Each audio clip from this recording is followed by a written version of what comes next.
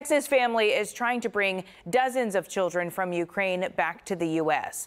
The plan was to bring 300 children to the U.S. from Ukraine, but that was before Russia invaded. So joining me now to talk about it, Elena Lawrence. Good morning, Elena. Can you hear me? Good morning. Yes, ma'am. So first, tell me, what are these challenges? You were supposed to be getting 300 Ukrainian children to the U.S. These were adoptions that were in process before Russia invaded Ukraine. Is that right? Yes, ma'am. So there are 200 families adopting uh, 300 Ukrainian children that most of them had already known and lived in their home through Ukraine approved hosting programs. Wow. So you say that families are even getting further with Ukraine than the U.S. government has been able to do. So, I, so that so the U.S. government has tried to help these families get their children who they're trying to adopt, but your organization is is making better strides than they are. We actually are. We've been working with um, uh, former senator out of New Jersey. We've called on Ted Cruz, August Pfluger, um, several other Texas representatives to push this initiative.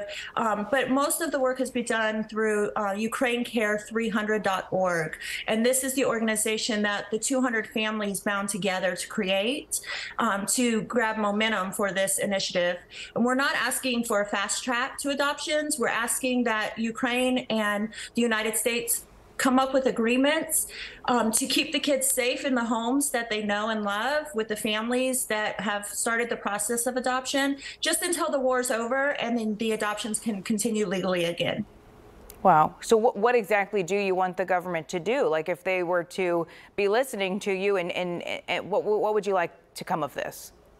We would like the United States to reach out to Ukraine. We know that there are strong communications. The United States has demonstrated that um, we're trustworthy and that Ukraine, you know, Ukraine can count on us to keep the kids safe. We'd like President Biden to reach across the aisle and ask Ukraine um, and assure Ukraine that these children will be returned when the war is over um, until the adoption processes can resume. That's all we're asking. We're asking them to just let the children come here, keep them out of the war zone. Over 500 children have been murdered by Russia in Ukraine we have an opportunity to take 300 children who know these families and keep them safe and then return them to Ukraine, like I said, until the adoptions can can uh, happen again. So they know they know the families because they're with the families because they've explained to me how they how they know them.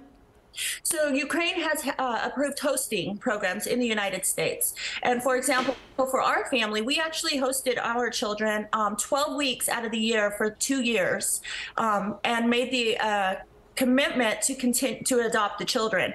Since the war started, though, we're still in contact with our children. Mm-hmm. Uh, a lot of families have gone overseas and brought supplies um, to help because the need is so great in these other countries who've accepted the children as refugees. But American families are still continuing to support the children there. Mm-hmm. So you know some of these children personally? Yes, uh, the children that we were in the process of adopting lived with us for 12 weeks um, in 2019 and in 2021. Mm-hmm. Um, so yes, we we do know them. Are you worried for them right now? I am. Our children are in some pretty um, dire situations. We know that there's been some trafficking. Um, we know that there's a lot of abuse. Um, we held a summit in DC in July where a lot of these abuses were uncovered, and we had videos. And unfortunately, Voice of America and one other media outlet showed up to our event. U.S. Um, government officials said that they would be there, but we didn't see anybody. Do you know about how many Texas families this is impacting? How many Texans are trying to adopt from Ukraine? There are quite a few. I have to look back in the um, in in our press release to get those exact numbers for you, but there were quite a few. Actually, Texas is one of the larger states with the most children being adopted. Okay. Well, what do you want people to take away from this interview this morning? What, what would you like people to know about your organization and, and y'all's efforts? We would like everybody to get on the phone and to call their representatives and ask their representatives to come up with a solution um, in the state to go to the Biden administration and ask the Biden administration um, to create this bilateral, you know, you know, country agreement with Ukraine um, to get the children over here. Yeah. Well, thank you so much for your time this morning. And of course, anybody watching this would wish the, the best for those children. You know, they're the ones who are really suffering from this. So um, thank you for everything that you're doing and best of luck to you guys. Elena Lawrence, thank you. thank you for joining us.